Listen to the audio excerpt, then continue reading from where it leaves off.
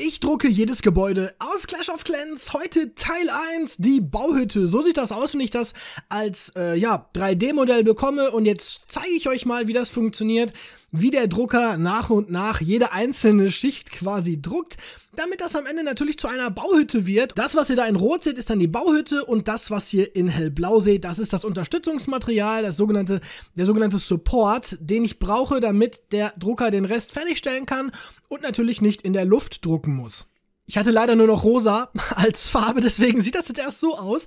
Also es ist jetzt erst fertig gedruckt. Bei weiteren Drucken würde ich das jetzt auch gerne als Zeitraffer machen. Das habe ich jetzt hier allerdings noch nicht gemacht. Bedeutet, so sieht die Bauhütte dann aus, wenn sie fertig gedruckt ist. Da sehen wir sie jetzt auch nochmal, wie sie auf meinem Tisch steht. Also nochmal in unterschiedlichen Perspektiven. Schicht für, äh, Schicht für Schicht hat er da alles gedruckt. Als nächstes habe ich etwas Haftgrundierung aufgesprüht, muss allerdings dazu sagen, ich habe, glaube ich, etwas zu wenig aufgesprüht.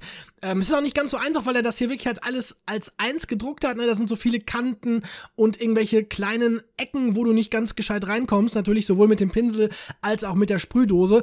Deswegen vielleicht ein bisschen zu wenig aufgetragen, aber wir gucken mal weiter.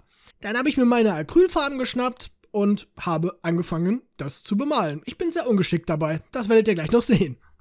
Und so sieht das dann jetzt gerade aus. Die Bauhütte muss ich nochmal, glaube ich, ein bisschen drüber pinseln. Und was, was mir aufgefallen ist, das, was ihr da seht bei der Säge, quasi wo sich, der, wo sich die Säge und der Hammer kreuzen, da ist tatsächlich unterhalb davon, ist noch weiß, weil das in echt auch so ist. Ich kann ja mal ein Bild dazulegen von der Bauhütte, aber so sieht das jetzt hier aus.